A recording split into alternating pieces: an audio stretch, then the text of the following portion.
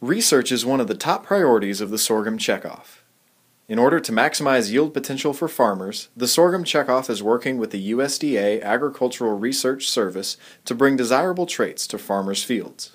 The ARS facility in Lubbock, Texas, has a dedicated staff focused on sorghum.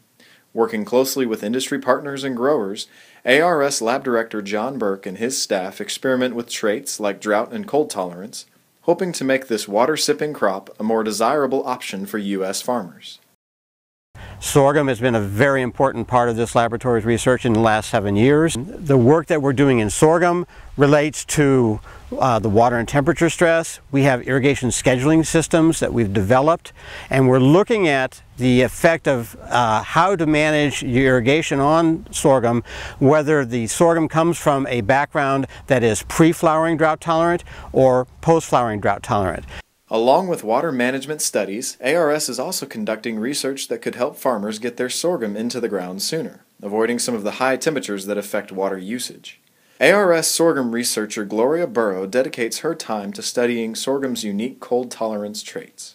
What we mean by cold tolerance in our earlier project is to be able to uh, get the plants uh, planted earlier than the uh, regular planting season. We would like the farmers to be able to utilize the moisture during our spring and at the same time be able to plant early possibly for double cropping and at the same time uh, be able to uh, utilize some new varieties that have higher yield potential because they can be grown longer. Higher yield potential is one benefit the erect leaf sorghum being developed by ARS could give producers. This unique mutation, already found in some corn hybrids, features leaves that grow vertically, which gives growers the ability to plant more sorghum per acre. Erect leaf sorghum also allows the plant to absorb more early morning and late evening sunlight for photosynthesis, and less of the mid afternoon heat that would require significantly more water to cool the plant down. From research plots to farmers' fields, the sorghum checkoff and USDA ARS are working to increase yield and maximize sorghum's already profitable characteristics. Justin Weinheimer, Crop Improvement Director for the Sorghum Checkoff, says the partnership with ARS is yielding valuable results.